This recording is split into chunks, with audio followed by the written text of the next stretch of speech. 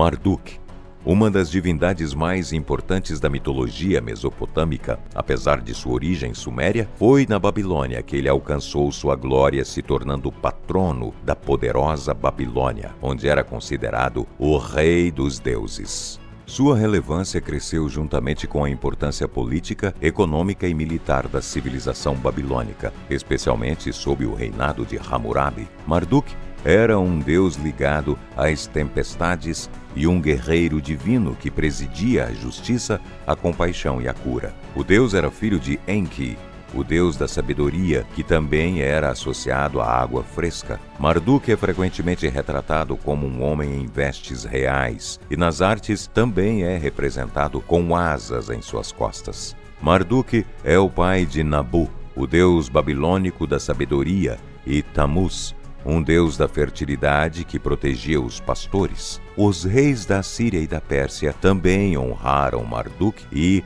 Zarpanitu, que era sua consorte. Marduk era frequentemente representado com atributos de realeza e poder, com um cetro e um trono. Ele também era associado a símbolos de julgamento e justiça, refletindo seu papel como legislador supremo. Sua conexão com a magia e o conhecimento é herdada de seu pai. A história mais famosa de Marduk é narrada no poema épico Enuma Elish, que descreve a origem do mundo conforme a mitologia babilônica. Nessa narrativa, Marduk é retratado como um herói poderoso que derrota Tiamat, a deusa do caos e das águas salgadas.